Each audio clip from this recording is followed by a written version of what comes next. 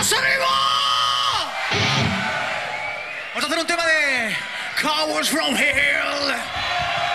A ver si os suena.